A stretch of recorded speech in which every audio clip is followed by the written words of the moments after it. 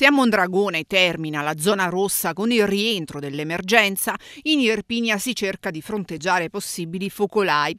La provincia arriva quasi a quota 13 in quattro giorni, ma l'escalation ora sembra frenare. Ieri il secondo caso a Moschiano, dove il sindaco ha obbligato alla mascherina e l'ASL ha avviato uno screening. Intanto all'ospedale Moscati ritorna il caos. Sembrerebbe che nonostante il transito dei pazienti contagiati, il riparto non sia stato sanificato e che non ci sia più la corsia sia riservata al Covid. La denuncia arriva da Toni della Pia di Rifondazione Comunista. Noi abbiamo accolto la denuncia di alcuni operatori del 118 che in buona sostanza eh, affermano che sia durante il periodo di crisi Covid, quello più acuto, eh, che ancora oggi eh, gli operatori del 118 percorrono lo, lo, lo, le stesse strade eh, per l'ingresso all'ospedale eh, di altri pazienti che eh, purtroppo hanno bisogno del, del pronto soccorso. Noi riteniamo questo un, eh, un fatto molto grave perché eh, soprattutto vista l'incidenza negativa che ha sulle persone il Covid-19